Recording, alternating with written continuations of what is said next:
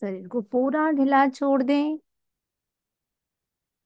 केवल श्वासमय बन जाए, केवल श्वास दर्शन। एक भी श्वास आपके बिना जानकारी न बाहर आए और न भीतर जाए।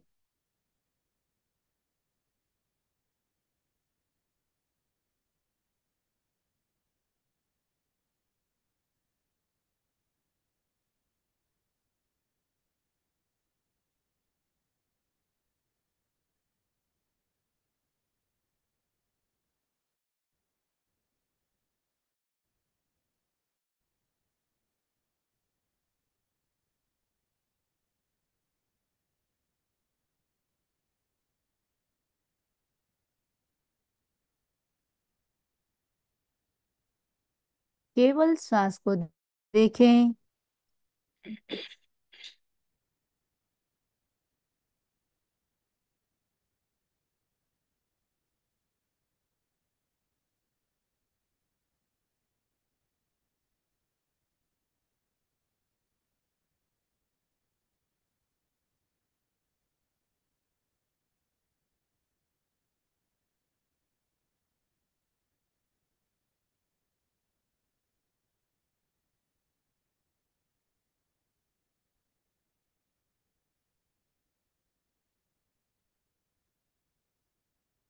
एक भी श्वास आपके बिना जानकारी न बाहर आए और न भीतर जाए।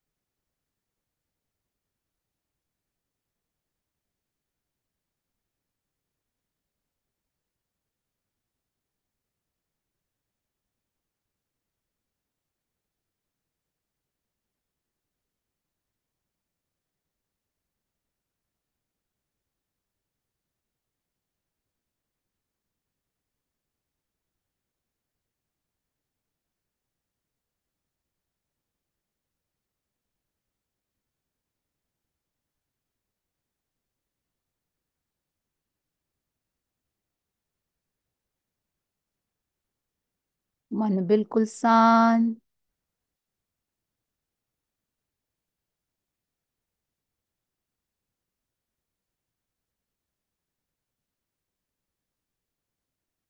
दो तीन लंबा गहरा श्वास ले लंबा गहरा श्वास छोड़े।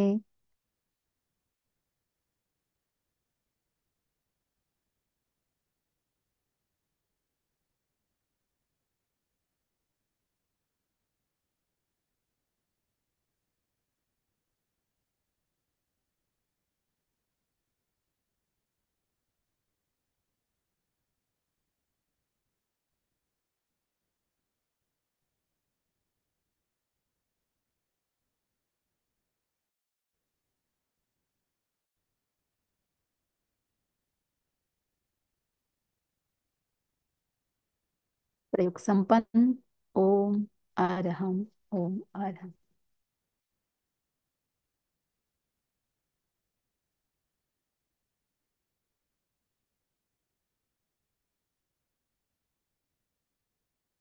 नैतिक जी का एक प्रश्न है।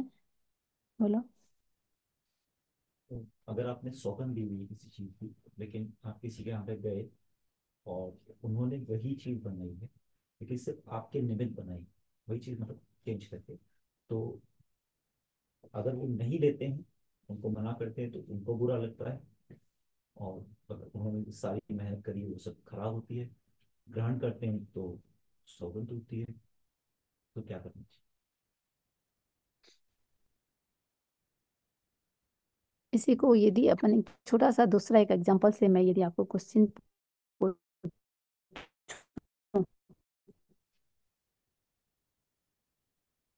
कोई आपको गलत काम करने के लिए बोल रहा है और ये कह रहा है कि आप वो गलत काम नहीं करेंगे तो सामने वाला कुएँ में कूद के मर जाएगा मर जाएगी। ठीक है? क्या करेंगे आप?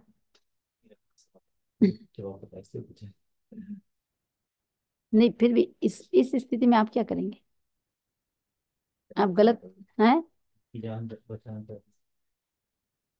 जान बचाना ज़्यादा ज़रूरी है। निमित्त का सौगंध हमने ले रखा कोई हमको खाने पे बुलाए तो वो हमारे निमित्त से ही कोई ऐसे निमित्त का करेंगे हम्म। यदि आपने किसी, आपका सौगंध है किसी भी चीज़ का मतलब जिस भी चीज़ को, सपोज़ जैसे मिठाई का त्याग किया हुआ है और सामने वाला आपके लिए बना रहा और आपको में नहीं ले रहे हैं तो आपको क्यों दोष लगेगा? आपका सौगंध है कि साधु के लिए, ठीक है, सामने जी के लिए थोड़ा सा अपवाद है कि लोग यदि सोच कर भी बनाए कि हाँ जल्दी बना ले, कर ले तो सामने जी के लिए नियम में ही उसको खुला रखा गया है। लेकिन दूसरी जो मैं बात कर रही हूँ समणी जी को समणी जी के लिए कोई बना रहा है, ठीक है, वहाँ तो ठीक है। और साधु के लिए कोई बना लिया। आपने साधु के लिए बनाया। साधु वाला साधु पूछेगा भी हमारे लिए तो नहीं बनाया है। आप बोलेंगे नहीं। मैं जल्दी बनाती हूँ, अपने लिए बनाई हूँ। जबकि आपने साधु के लिए बनाया है, लेकिन साधु को उस चीज़ का दोष लगेगा ही नहीं। वो पूछ करके निश्चिंत हो गया। ठीक है? अभी आपको दोनों दोष लग रहा है। साधु को लिए बनाना नहीं चाहिए, आपने बनाया उसका दोष। दूसरा, साधु को आपने झूठ बोला उसका दोष। दो बड़े दोष का सेवन कर रहे हैं। हमें यहाँ दूसरी बात जो आप लोगों का प्रश्न है कि हमको किसी चीज़ का त्याग है और सामने वाला बना रहा है तो हमको उस चीज़ का त्याग है, हमको उस चीज़ का दोष नहीं लगेगा। अब रही बात, उसका मन दुखे तो हज़ार बार दुखे। किसी को राज़ी रखने के लिए हम अपना जो हमने आज यही चीज़ यदि अपन ले दोस्त आप लोग दस मिले हैं और ड्रिंक्स पार्टी रखा है। आप कंपनी तो देने गए लेकिन आप पक्का सोच के चलें कि मुझे लेना नहीं है। और ऐसी स्थिति बन गई कि नौ की नौ एकदम भयंकर नाराज़ हो रहे हैं। उनका मन दुख रहा है। आज तक आपने टेस्ट भी नहीं किया और, और सौगंध भी है कि मैं लाइफ में कभी भी ड्रिंक्स लूँगा नहीं। तो क्या करना चाहिए? बस। जो भी अपना प्रिंसिपल है, किसी को राज़ी रखने के लिए कभी भी इस प्रिंसिपल के साथ कॉम्प्रोमाइज करना ही नहीं चाहिए। भले सामने वाला गलत से गलत कदम भी उठा ले। तो कुछ नियम जैसे लेते हैं, उसमें इच्छा अपवाद होते हैं। जैसे कोई राजा का कोई दबाव हो गया, राजा का आदेश हो गया, जैसे बारह बारह व्रत ले रहे हैं, नियम ले रहे हैं, उसमें कुछ विकल्प रखा जाता है कि मेरे अपनी इच्छा से मुझे त्याग है। राजा का कोई आदेश हुआ तो वहाँ आगार है। अभी अपन जो बारह व्रत का करने वाले हैं, उसमें अपन ये चर्चा करेंगे। तो कुल मिला के निष्कर्ष इतना ही है कि कोई यदि बुरा माने तो सौ बार माने, अपने नियम के साथ, त्याग के साथ कभी भी कॉम्प्रोमाइज करना नहीं चाहिए। और यदि उसको तोड़ते हैं, हमको पता है कि मुझे इस चीज़ का, और मुझे बहुत बार ऐसा लगता है, हम खुद को, खुद के साथ हम छल कर रहे हैं। हम सोचते हैं सामने वाले को राज़ी रखने के लिए कहीं ना कहीं हमारा मन कमज़ोर हुआ है। कहीं ना कहीं उस वस्तु के साथ हमारी आसक्ति जुड़ गई है। हम सोचते हैं कि उसके लिए हम उसको राज़ी रखने के लिए इस चीज़ का प्रयोग कर रहे हैं। और रियलिटी में जाओ, अपना खुद को यदि डीपली एनालिसिस कर सको तो कहीं ना कहीं शायद उस वस्तु के साथ मन जुड़ गया है। उस चीज़ को हम खुद को एक बोलते हैं ना, छलावा करना, खुद के साथ धोखा करना और हम नाम दे देते हैं दूसरों का राज़ी रखने के लिए। वही चीज़ आपको बिल्कुल एकदम से पसंद नहीं है, एकदम से एलर्जी है। देखो आप उस चीज़ को आप सामने वाले के आग्रह से लेंगे क्या? नहीं लेंगे। तो कहीं ना कहीं उस वस्तु के साथ हमारी आसक्ति जुड़ी हुई है मेरी आवाज़ सबको आ रही है आप लोगों को पीछे भी? हम्म। तो आपका भी यही है कि भाई नियम अपन कुछ भी लेते हैं, कभी भी उसके साथ कॉम्प्रोमाइज नहीं करना चाहिए। दूसरी जो मैं इसी से संबंधित जो बात कर रही हूँ, एक अपन जो चर्चा कर रहे थे कि एक श्रावक की गति मर करके कहाँ होती है? मर करके एक श्रावक की गति, हंड्रेड परसेंट देव गति, ठीक है? तो दो शब्द अपने आते हैं, आराधक और विराधक। आराधक और विराधक। आराधक किसको कहेंगे? विराधक किसको कहेंगे? व्रतों की आराधना, जो व्रतों की आराधना करता है, जो भी हमने नियम लिया, जिसके जो भी नियम है, साधु के अपने नियम है श्रावक के अपने नियम है, सबके अपने नियम है। हमने व्रत लिया और तोड़ दिया, ठीक है? व्रतों की यदि आराधना की, जिस को जिस ढंग से हमने स्वीकार किया है, उसको उस ढंग से यदि पालन किया तो व्यक्ति आराधक पद को प्राप्त करता है। आराधक यानी जिसका जहाँ पुष्ट होना चाहिए। व्रतों को हमने त्याग तो लिया है, संकल्प तो लिया है।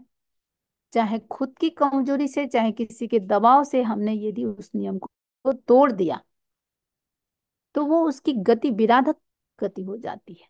विराधक का मतलब जो पोस्ट मिलना चाहिए, वो नहीं नहीं मिलेगा। अब जैसे एक श्रावक की गति है, वैमानिक गति। देखो, देवता नहीं, देवता में भी कैटेगरी है चार। भवनपति, व्यंतर, ज्योतिष और वैमानिक।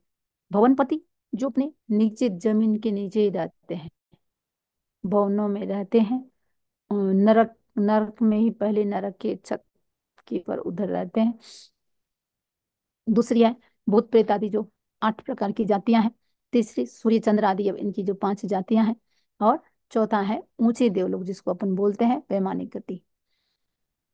अब वो श्रावक देवता तो बन जाएगा, लेकिन व्यंतर बन गया भूत प्रेत बन गया, ठीक है? अब छोटा सा इसमें यदि एग्ज़ाम्पल दो। एक बार किसी के रोने की आवाज़ आ रही थी।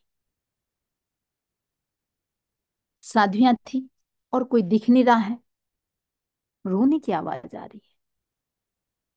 तो जो साध्वियाँ बैठी थी, उनको लगा ये तो अमुक साध्वी की आवाज़ है जिसका स्वर्गवास हो गया था।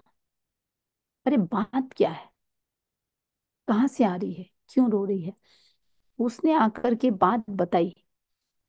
साधु का एक नियम है, जैसे कुछ भी काम करते हैं, घर से बाहर जाते हैं, ठीक है मान लो गोचरी जा रहे हैं तो जो भी ग्रुप लीडर है, आचार्य के पास से जाएँगे तो आचार्य श्री को आज्ञा लेके जाएँगे कि हम अमुक चीज़ के लिए जा रहे हैं।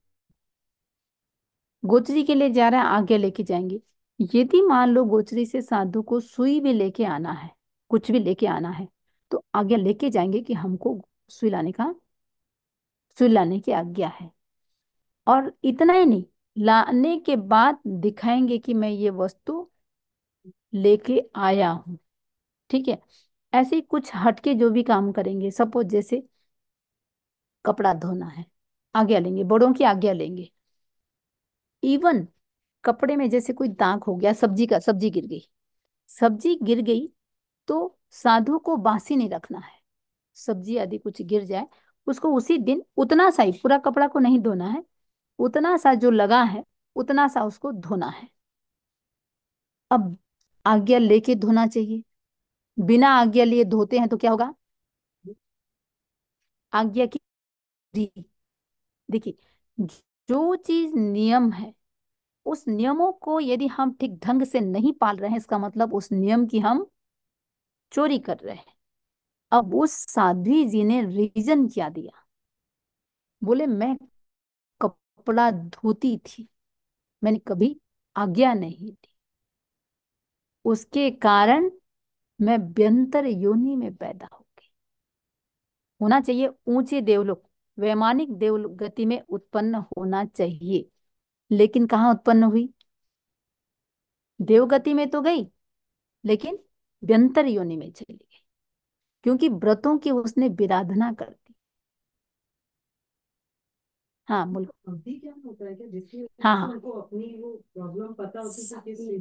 साधु के देवता के और नारकी के अवधि ज्ञान बाय डिफ़ॉल्ट होता ही है। उनको तीन ज्ञान होता है ठीक है?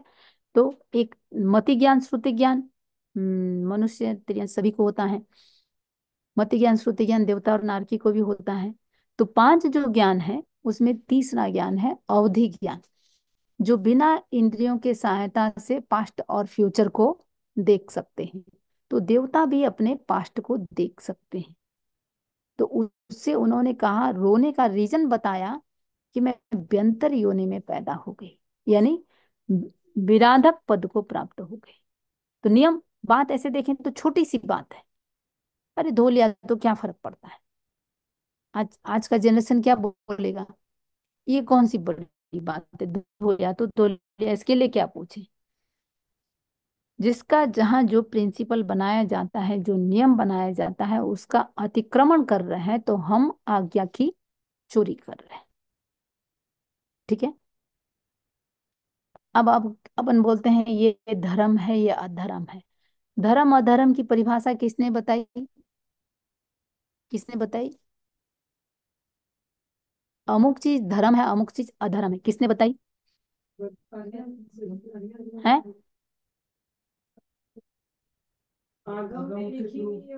हाँ भगवान ने जिस चीज़ की आज्ञा दी है वो धर्म। जिस चीज़ की आज्ञा नहीं दी है वो अधर्म। तो यदि उस चीज़ को पालन नहीं कर रहे हैं तो हम भगवान की आज्ञा की चोरी कर रहे हैं। अब जैसे श्रावक सामायिक में है। सामायिक में जो करना चाहिए, वो नहीं कर रहा है, इसका मतलब भगवान की आज्ञा की चोरी कर रहा है। ठीक है? और उसका रिज़ल्ट क्या आएगा? विराधक पद को प्राप्त करना।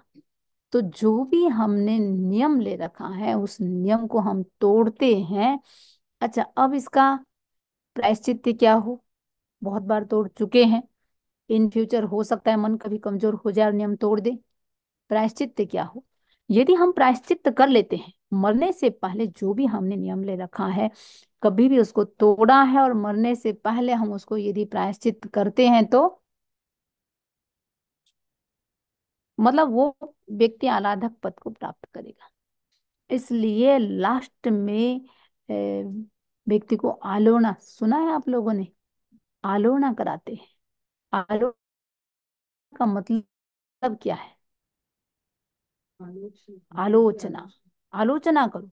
मैंने क्या किया और एक समीक्षा बोलते ना या प्रायश्चित करो। क्या क्या मैंने? मेरे से भूल हुई है। तो ये हुई। नियम को सामने वाला बुरा माने तो सौ बार माने। और जो समझदार लोग होते हैं वो कभी भी जैसे आप लोग होते हैं जब गोचरी के लिए बहुत आग्रह करते हैं सबने जी इस चीज़ की, कृपा कराओ। जैसे ये शब्द बोलते हैं कि ये त्याग है, आप क्या बोलेंगे? दोबारा उस चीज़ के लिए कोई भी श्रावक आग्रह नहीं करेगा। बस त्याग है, यानी हम, हमारा अपना नियम है। ठीक है? चलिए लास्ट सेशन में जो एक प्रश्न दिया था, चार गति में जाने के चार चार कारणों की अपन ने चर्चा की थी। आने के चार चार लक्षण। ठीक है? आप लोग थोड़ा गेस लगा करके ही पहले कोशिश करेंगे। नरक से आए हुए जीव का क्या क्या लक्षण किन किन सिम्टम के आधार पर हम बोल सकते हैं कि ये नरक गति से आया होगा? ऐसे जस्ट टेंटेटिव क्या दिमाग में आ, आ रहा है? है? ठीक है। ठीक है। वो क्रोध जो है उसी के अंदर आ गया, या वो उसको वैसे भी बोल सकते हैं, महाक्रोधी। अब जैसे अधिक कसाय बोलेंगे इसको, अब क्रोध बोल रहे हैं तो महाक्रोधी, ठीक है? और अब अब इसमें ध्यान दो आप। क्रोध तो सब में है, ठीक है? गुणस्थान है श्रावक का पांचवा।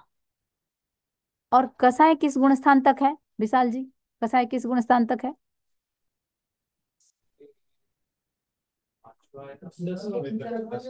दसवीं तक है। गुड कसाय दसवीं तक है। ठीक है? और नौवीं तक है। लोभ लोभ दसवीं तक है। अब क्या बोले स्मिता जी? हम्म तो लोभ दसवीं तक है। अपन बात कर रहे हैं कि इसका मतलब हुआ कि चारों गति के जीव में कसाय तो है। अब कसाय तो है, इसका मतलब सारे तो नरक से आए हुए हैं, ज़रूरी नहीं है। उसका लक्षण है जो भयंकर क्रोध करेगा महाक्रोधी। वो से जीव का एक लक्षण है। दूसरा? अच्छे कुल में पैदा नहीं नहीं शांत चीज़ नहीं हो सकता। शांति शांति वाला होगा ना तो सा- आया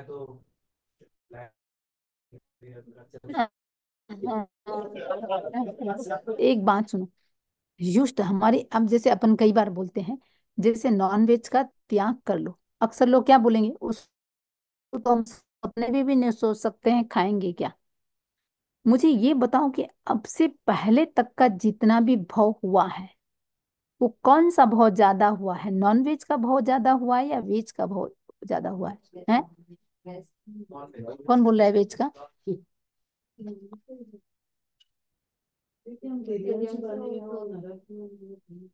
ठीक है। तिर्यंच गति में पता नहीं कितनी बार कहाँ कहाँ, कैसे कैसे गए हैं। तो नॉन वेज की बहुत तो हुआ ही है हंड्रेड परसेंट हुआ है। यानी आत्मा को संस्कार किसका है? ये आत्मा आज की नहीं है हम। हम सिर्फ़ ये पच्चीस साल, पचास साल साठ, सत्तर साल को ही सब कुछ न माने। कितने भवों से इस आत्मा में कितने कितने संस्कार परत दर परत जमे हुए हैं जमे हुए हैं जमे हुए हैं। तो इसलिए कहीं कोई संस्कार उदय में ना आ जाए। कम से कम इस जन्म में हम उस संस्कार को तो कम से कम डिलीट कर सकते हैं। एक बार किसी ने बताया शायद यही की ही बात होगी देखो।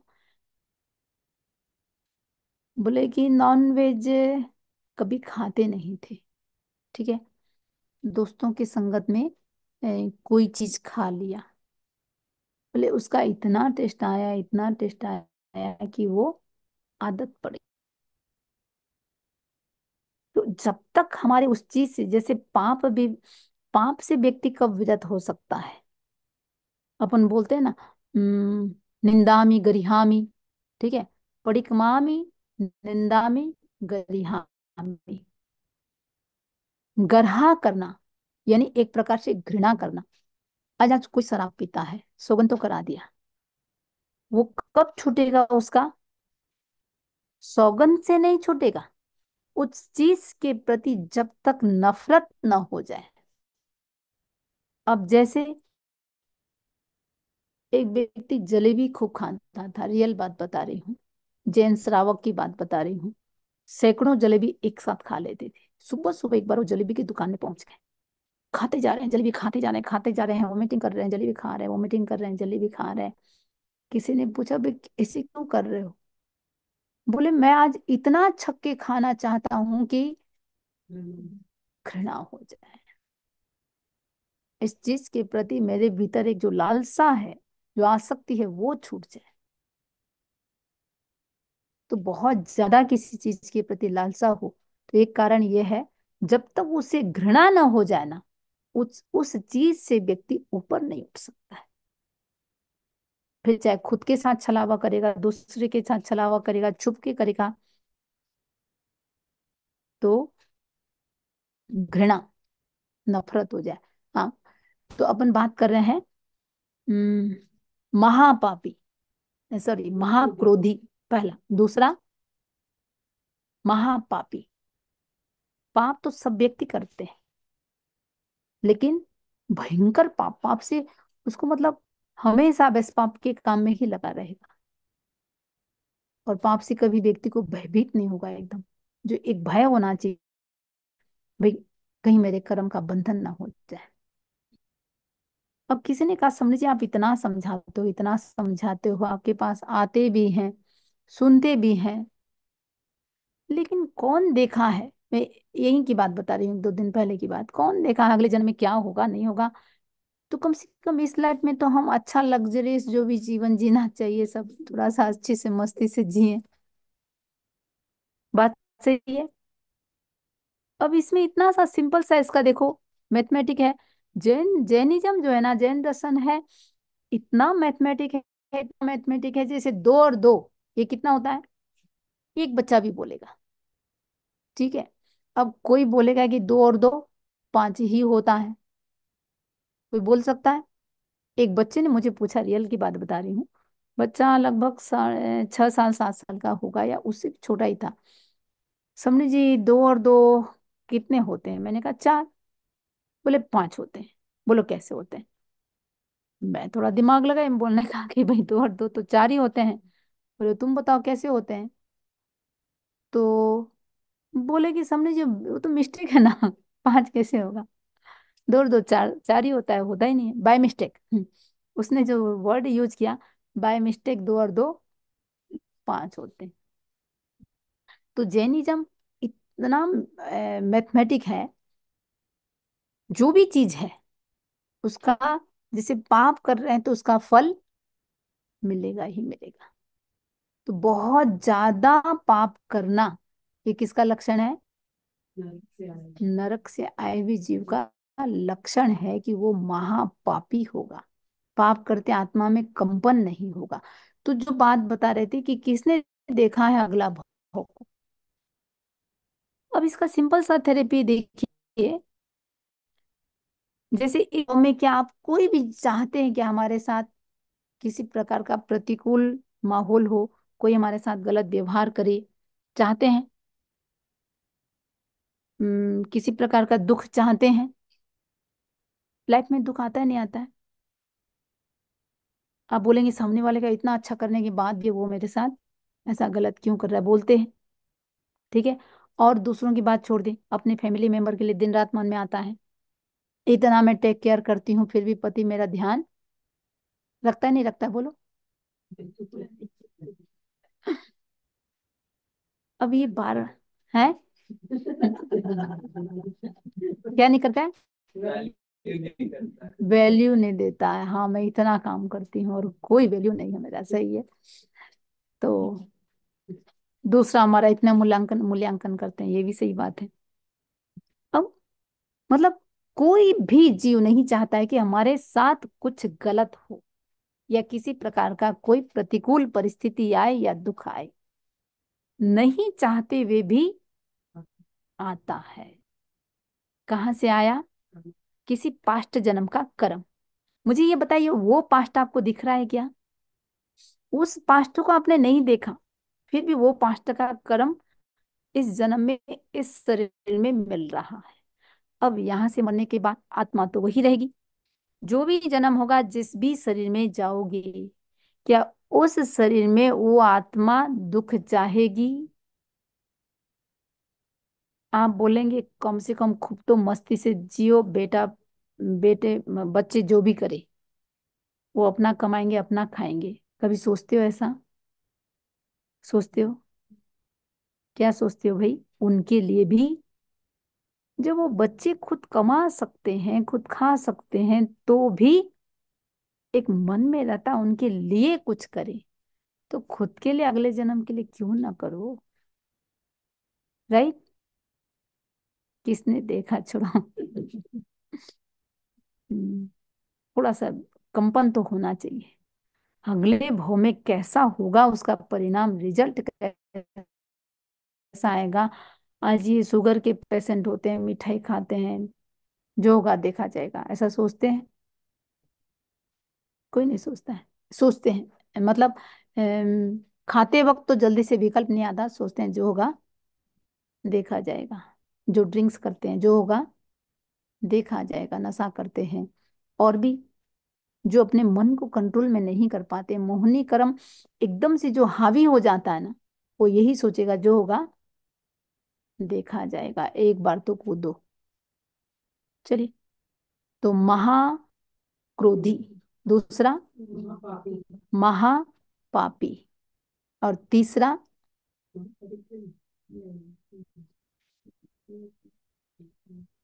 देखो बहुत सारे लक्षण हो सकते हैं। अपन चार जो मेन मेन बात है उसकी बात करते हैं। बोलो कुछ तो सोच के होंगे। बहुत सहनशीलता वाला होगा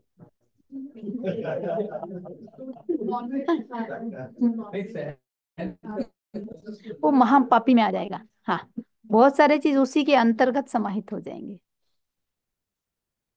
और दूसरी बात देखो जहाँ जहाँ नॉन वेज की बात है महापापी की बात है उसके भीतर तो करुणा रहेगी नहीं। है ना?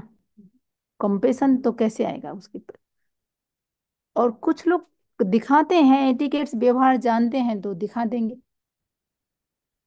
लेकिन वही है ए, गुड़ खाते हैं और गुलगुले से परहेज रखते हैं। वो एक कहावत है हाँ। की बात पर इसने जो नर्क से आया उसने अपने कर्म तो भुगते हैं। को भुग के आया तो उस हिसाब से तो क्लीन आना चाहिए तो फिर वापस वापस कैसे उसको चक्कर में वापस कैसे अच्छा एक बात सुनो पुण्य ही होती तो नरक में क्यों जाता वो- वो तो पाप का उदय था भुगत लिया लेकिन पुण्य का अर्जन तो नहीं किया ना वहाँ खत्म वो ब्लैंक ब्लैंक खत्म हो गया है हाँ मेन चीज़ क्या ये कहना सही है कि अगर कोई नरक से आया है तो पूरे पाप खत्म हो गए नहीं नहीं ऐसे तो ऐसे तो नहीं कर सकते। देखो एक चीज़ और बताऊँ मैं। अभी जैसे जैसे सातवीं नरक से कोई आया इतना पाप इतना पाप इतना पाप और इतना व्यक्ति वहाँ सहन भी करता है। भयंकर है कि बहुत संभाल जाता है। समय तो यानी थिंकिंग पॉजिटिव हो जाता है। और कोई दुख भी दे तो उसको भी संभाव से सहन करता है। यानी इतना भयंकर कष्ट वहाँ हम्म, सहता है। हाँ अब मैं बता रही हूँ कि सातवीं नरक से आया। आग करके वो तिर्यंच गति में ही जाएगा। ठीक है? अब शेर बना। सातवीं नरक से आया शेर बना। और शेर बन करके फिर क्योंकि वहाँ वो मांसाहार हिंसक क्रूरता सब चीज़ें फिर मर करके कहा जाएगा? फिर नरक। और यही सातवीं नरक से आकर के जीव फिर नरक की संभावना पूरी रहती है। ती- हाँ हाँ बोलो। लेकिन उस हिसाब से तो उस चक्कर से निकलने का उसको मौका ही नहीं हाँ। बहुत इसीलिए तो यही एक भाव है जहाँ हम मतलब ये काटने का भाव यही है बाकी बांधने के भाव तो सारे हैं ही। हाँ। जैसे आपस में जब लड़ते हैं तो उसमें भी वापस उनके पाप कर्म बनते बनते ही। है बिल्कुल बिल्कुल बिल्कुल। उनके भीतर कसाय के बिना तो देखो, ये प्रश्न के बात पर आप समझो। कोई गुस्सा कर रहा है तो आपको क्या हो रहा है? गुस्सा आ रहा है। और आपने गुस्सा किया, यानी फिर उस कर्म का बंधन कर लिया। वहाँ जितना वो भोग रहे हैं, उतना ही वापस बाँध रहे हैं। जिसका उदय रहता है। ठीक है? अब ज्ञानावर्णी कर्म का उदय भाव है। व्यक्ति ज्ञान कर नहीं रहा है, ज्ञान में उसको इंटरेस्ट आ नहीं रहा है। तो उदय भाव के कारण कर भी नहीं रहा है इंटरेस्ट भी नहीं आ रहा है और नए सिरे से बाँध रहा है, क्योंकि ज्ञान कर ही नहीं रहा है। ठीक है? मोहनी कर्म के कारण गुस्सा आ रहा है, उदय भाव है। जिसका उदय भाव है हंड्रेड परसेंट उसी का बंध निरंतर चालू है। आठों कर्मों का उदय भाव है तो आठों कर्मों का बंधन भी चालू है। नसीब। हम्म, मानते मानते कि जन्म होता फॉर एग्जांपल पैलेस्टाइन या इजराइल में।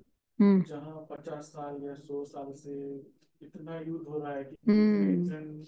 कितने मरते हैं या वर्ल्ड वॉर के टाइम पे तो होता ही। वही ना मनुष्य भाव में इतने लोग कहाँ कहाँ इतने जन्म लिए हैं।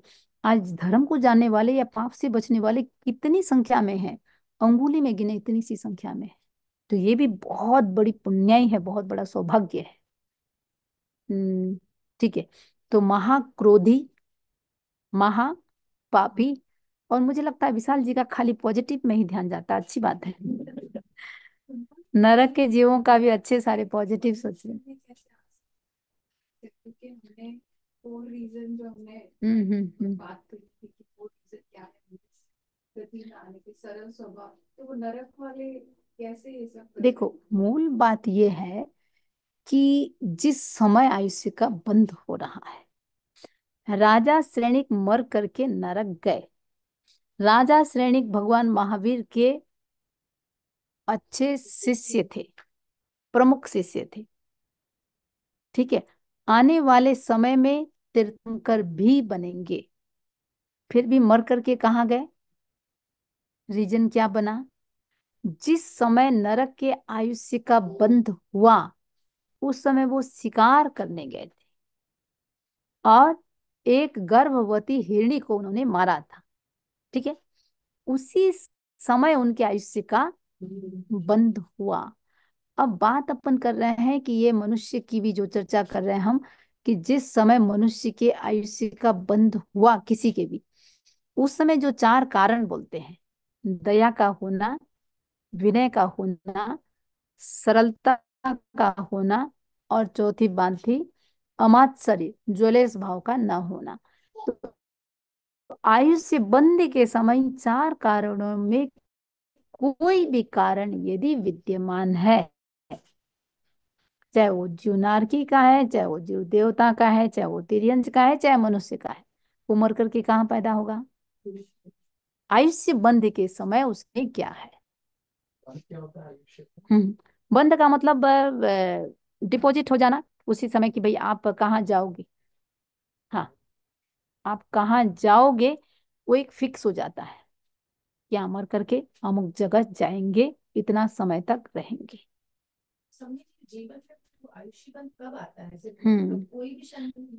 नहीं हाँ कोई भी क्षण में हो सकता है वो क्षण हमको पता नहीं। टेंटेटिव जो कहा गया है जितना भी जिसका आयुष्य होगा सपोज़ जैसे नब्बे साल का यदि अपन एक बार टेंटेटिव मान के चलते हैं तो नब्बे साल में टू थर्ड दो तिहाई हिस्से में जैसे सिक्सटी ईयर सिक्सटी में बंद होगा। उसमें नहीं बंधा तो फिर जो बचा है उसका दो तिहाई हिस्सा। उसमें भी इनकेस नहीं बंधा तो उसका दो तिहाई हिस्सा। ठीक है, ऐसे करते करते आयुष्य बंध के बिना व्यक्ति प्राण छूटता ही नहीं है। तो इनकेस यदि पहले नहीं बंधा तो लास्ट समय में बंधेगा ही बंधेगा। सारे मेरे ख्याल से पूरे लगभग सब मनुष्य में सनातनियों में और जैनों में तो है ही। लास्ट समय में व्यक्ति को धर्म ध्यान सुनाते हैं, उसकी इच्छा को पूरी करते हैं। इच्छा कोई मन में न रह जाए, जो भी उसकी इच्छा है। तो ये भी है कि भाई उसका लास्ट समय में यदि आयुष्य बंद हो रहा है तो अच्छी गति में जाए। और जो अपने अपने कहावत है जिस लेस्या में मरता है, उसी लेस्या में जन्म लेता है। तो लास्ट में भाव कैसा है उसके आधार पर ही वो आगे की गति होती।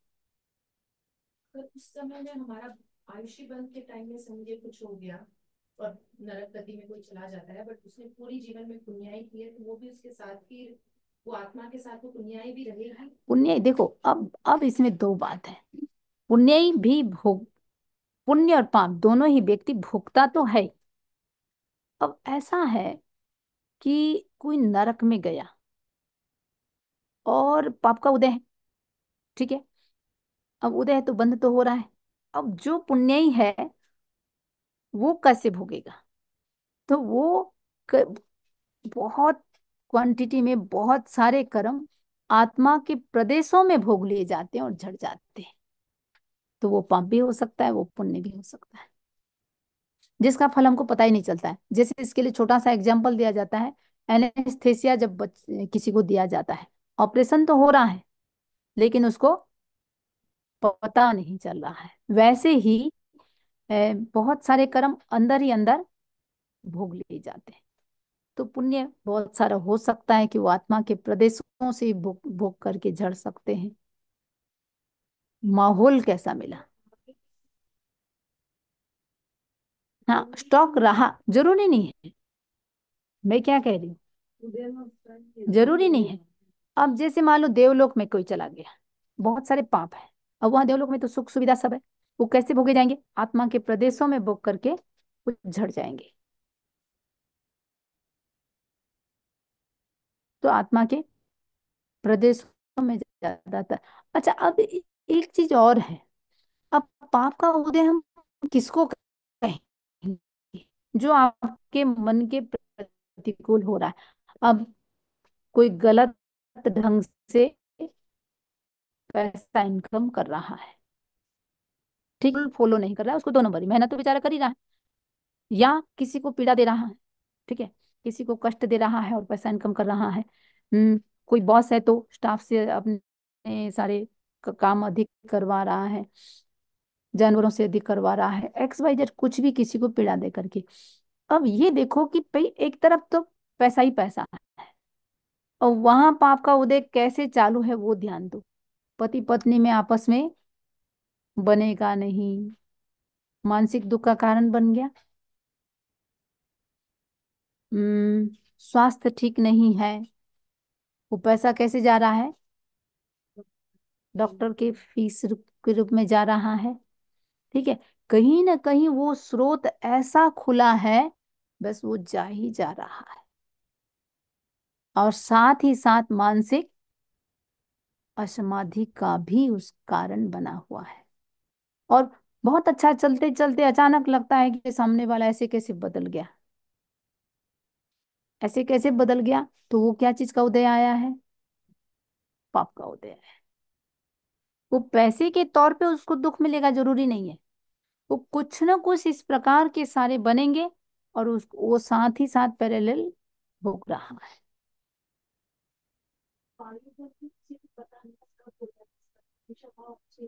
है इसीलिए भगवान ने कहा हमेशा भाव अच्छा रखो। राइट ही भा बंद हम्म, तो कभी भी हो जाएगा। सरप्राइज़ कोई सा भी फाइनल हो सकता है दिन मार्कशीट हो जाएगी। और दूसरों के लिए हम अपनी गति क्यों बिगाड़े? इतना सा सोच के रखो। ना बच्चा काम आएगा ना पति काम आएगा ना घर के कोई दूसरे सदस्य काम आएँगे। हम उनके लिए हम आत्मा को भारी क्यों बनाए? ये तो जस्ट एक ज़िम्मेदारी है। वो पिक्चर देखते हैं तीन घंटे का होता है और उस समय ऐसा लगता है रियल शो ठीक है? लेकिन उसके बाद यदि वो एक दूसरे के साथ वैसा बिहेव करे तो क्या होगा? उसको अच्छा मानोगे? कोई नहीं मानेगा। ठीक है? और कोई ऐसा कर रहा है तो उसका पति छोड़ देगा, पत्नी छोड़ देगी, जो एक अलग सा माहौल से बन जाएगा। वो तीन घंटे का शो देखते हैं और ये अस्सी साल, नब्बे साल का एक थिएटर में सब अपना अपना रोल प्ले कर रहे हैं। लेकिन इसको क्या मान लेते हम? रियल मान लेते हैं। एक एक एक फ़िल्म है। सब अपना अपना रोल प्ले कर रहे हैं। हमेशा व्यक्ति को भयभीत रहना चाहिए। भगवान ने कहा, कहीं मेरे पाप कर्म का बंध न हो जाए, निरंतर व्यक्ति को भय खाते हुए चलना चाहिए। तो चार लक्षणों में पहला था महाक्रोधी, दूसरा महापापी। वो पाप करते आत्मा में कंपन होगा ही नहीं। तीसरा, अभी किसी ने एक बात कही और अच्छी बात कही। बोले कि देखो, यदि किसी को मैं कहता हूँ नॉन वेज खाते हो, खाओ। लेकिन यदि आप जिसका भी खा रहे हो, उस जीव को अपने हाथ से मारने की हिम्मत है तो करके देखो, वो आत्मा वहाँ अपने आप जिस ढंग से जो भी होता है, वो एक कंपन होगा ही होगा। तो एक दो बार हमने देखा इंडिया में सुअर की भयंकर रोने की जैसे आवाज़ आ रही थी, भयंकर, सुन भी नहीं सकते। देखा तो उसके हाथ पाँव को बाँध रहे थे और वो बंधवाता ही नहीं है। कम से कम एक सुअर को इन लोग को पकड़ने में आधा आधा पौन पौन एक घंटा लग जाता है। और जो चीखता है, चिल्लाता है, बाप रे बाप आत्मा दहल जाए। तीसरा है, देखो, कदाग्रही, झूठा आग्रह करना। होता है गलत? फिर भी ऐसा अड़ा रहेगा ऐसा अड़ा अड़ा रहेगा। आज परिवार में आपसी संबंधों में ये दरार का मूल कारण क्या है? आग्रह छोटी छोटी बात में आग्रह। ऐसा होना चाहिए ऐसा नहीं होना चाहिए। तो झूठा आग्रह करना ये भी नरक गति से आए हुए जीव का एक लक्षण है। जब भी आग्रह करो पहले सोच लेना नहीं मैं नरक से नहीं आया हूँ। एक एक बोलेंगे ना स्टबर्न नेचर एकदम से। जिद। बस ये करना है तो करना ही हाँ लेकिन वो जो करता है वो गलत, कई बार वो जानते भी हैं गलत है, फिर भी पता नहीं, मुँह से बोल दिया है तो उसको रखना ही पड़ेगा, ऐसा भी हो जाता है। एक बार एक जाट ने, जाटनी से कहा, जाटनी ने कहा, कहीं आपकी बुद्धि मारी तो नहीं गई है? पचास और पचास कितने होते हैं? सही तो होते हैं। अरे भाग्यवान हो तुम मुझे भी पता है एक्सेप्ट करूँगा तब ना।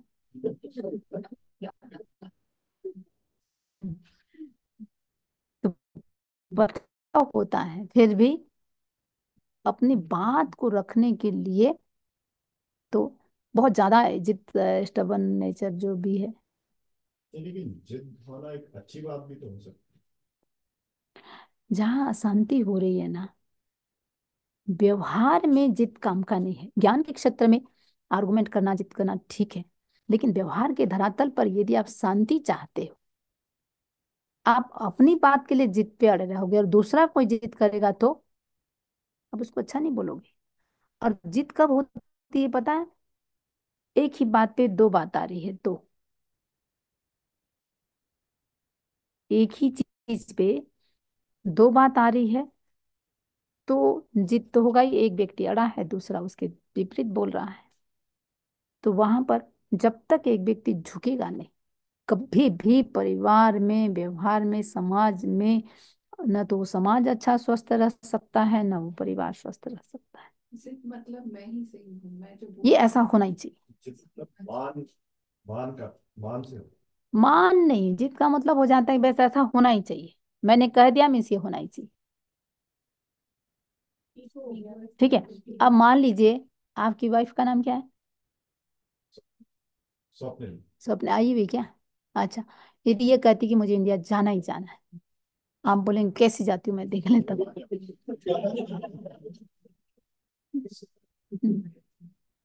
तो यदि किसी चीज़ को ऐसे लेकर के एकदम जो जिद पे अड़ जाते हैं ना अब क्या होगा वहाँ?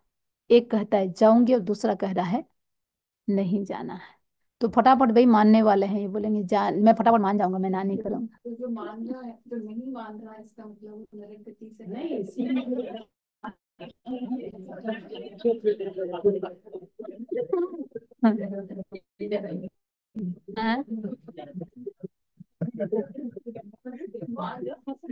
अब देखो आप ये ये एक अलग चीज़ हुआ झूठा आग्रह करना। कोई गलत बात कर दी और उसमें एकदम अड़े रहना कि नहीं ये चीज़। बंदा भी जिसने गलत बात की है पर उसको हम्म। ये नहीं वो ये नहीं मान रहा कि हम जो कह रहे हैं वो गलत है। अब जैसे इसमें आपको दूसरी बात बोलूँ मैं हम्म, जमाली की बात चलते हैं अपन। भगवान ने कहा कि जो काम हमने स्टार्ट कर दिया उसको पूरा मान लो। ठीक है? जमाली ने कहा ऐसा घटना है अभी समय हो रहा है इसलिए उसकी चर्चा अपन भले अगले सेशन में कर लेंगे। जमाली ने कहा ऐसा होता नहीं। जो काम स्टार्ट कर दिया उसको पूरा कैसे कहेंगे? भाई मैंने कहा, अपने शिष्यों से मुझे बुखार है, तबीयत ठीक नहीं है, बिछौना लगाओ। और वो लगा नहीं है तो उसको लगा, लगाना कैसे बोलेंगे? बस इसमें ऐसा अड़ गया, ऐसा अड़ गया। भगवान की कोई भी बात का यदि हम अड़ते हैं, अपनी बात रखते हैं या भगवान की बात को एक्सेप्ट नहीं करते, निन्नो कहा गया। सात जो निन्नो है, गलत प्रवृत्ति भगवान की बात की गलत प्रवृत्ति करना। या मान लो भाई, अपन बोलते हैं निगोद के जीव। सुई का नोक टिके इतने से स्पेस पर अनंत जीव। अब कोई कहेगा, मैं ऐसा मानता ही नहीं, मानूँगा ही नहीं, हो ही नहीं सकता है। ये क्या है? ये झूठा आग्रह है, जो सत्य है ही नहीं, उसमें अड़ जाना।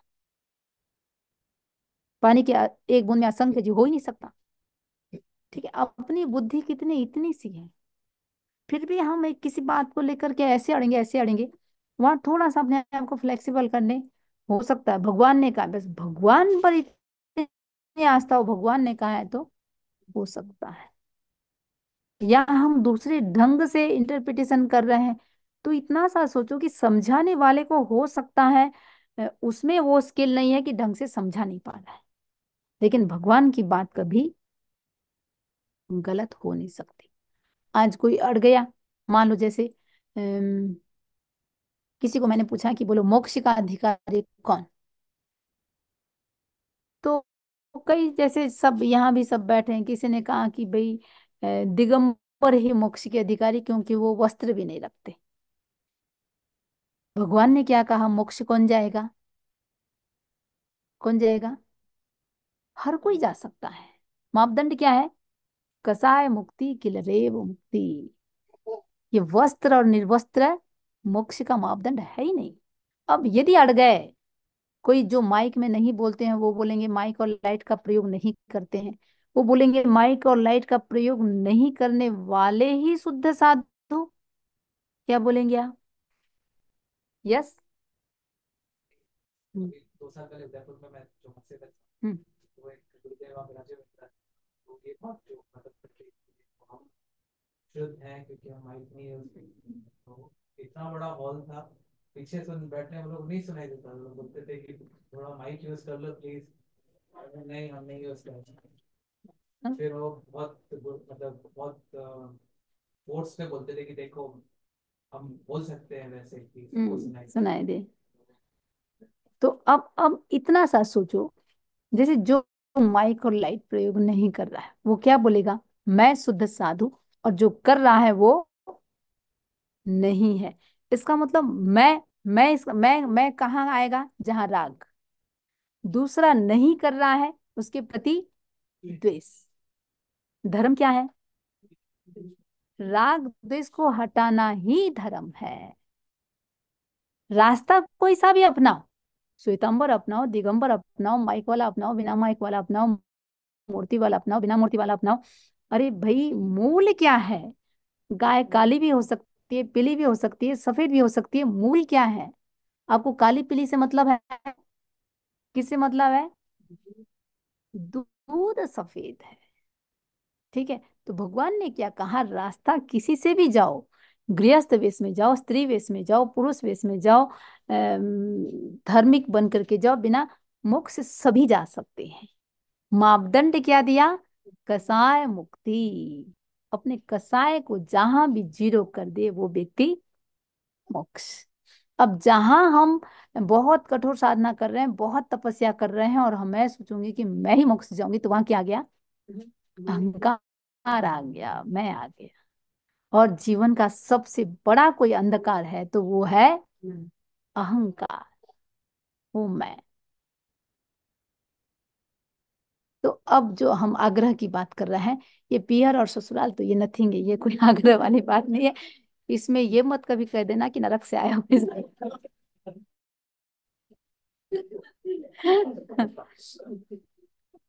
झूठा आग्रह करना, जो चीज़ है ही नहीं और उस पर हम अड़ जाते हैं, सिद्धांतों को लेकर के अड़ जाते हैं, ऐसा हो ही नहीं सकता है। भगवान के समय माइक और लाइट था ही नहीं। भगवान माइक और लाइट के बारे में कहाँ बोलने जाते? ठीक है तो और चौथी बात अपन चर्चा करें तो नीच संग करता। नीच संग करता। देखो, जिसे एक व्यक्ति कैसा है, उसका मापदंड क्या है? उसकी संगत कैसी है? उसका उठना बैठना कहाँ है? तो उठना बैठना को लेकर के भगवान ने एक जो महत्वपूर्ण बात कही है, नवा लभिजा न्यूनम सहायम गुणा हियम व गुणो समम संगत कैसी करनी चाहिए? या तो अपने गुणों में इक्वल हो या अपने से ऊपर हो, अपने से नीचे वालों के साथ संगत मत करो।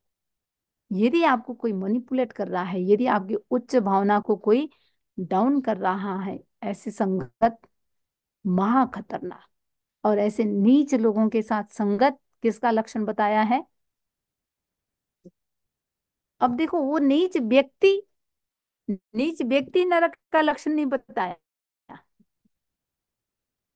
ठीक है? उनके साथ संगत का मन में विचार आ रहा है तो वो नरक का लक्षण है। तो हमेशा अच्छा लग रहा है। अच्छा। ठीक है? मेरे को कई बार मेरे को आश्चर्य होता है एक किसी के घर में थे एक बहन कहीं पार्टी में जाके आई।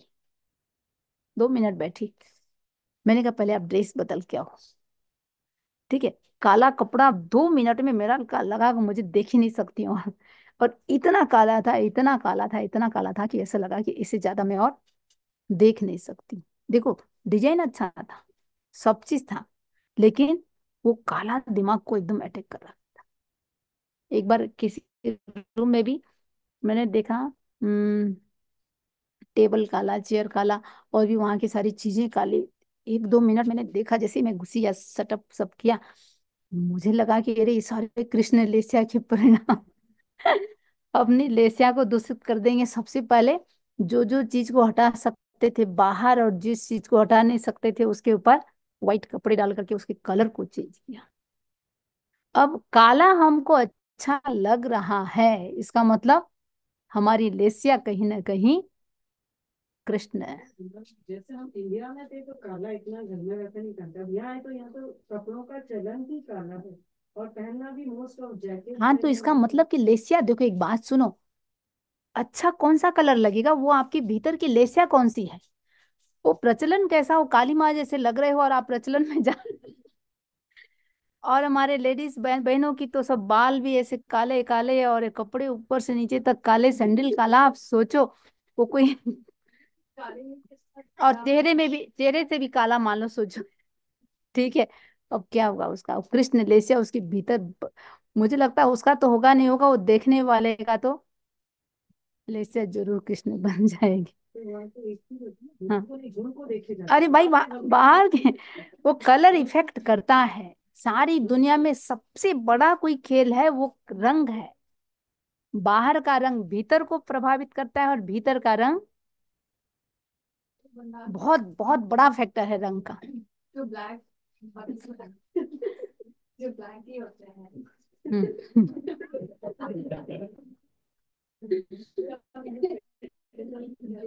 अपन उनकी क्रिटिसाइज नहीं कर एक बात सुनो।